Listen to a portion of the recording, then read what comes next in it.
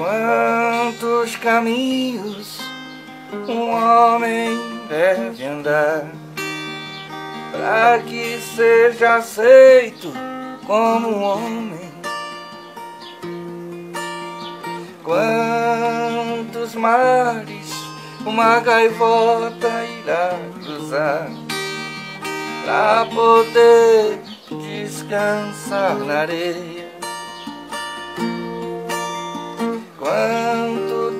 As balas de canhões explodirão antes de serem proibidas? Escute o que diz o vento, amigo.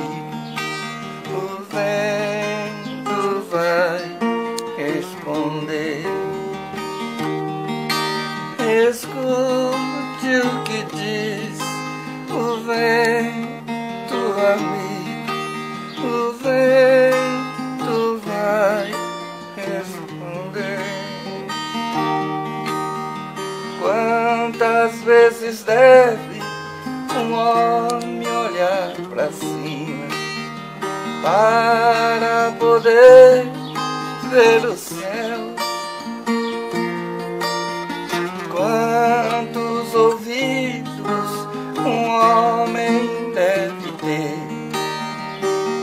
Para ouvir os lamentos do seu povo? Quantas mortes serão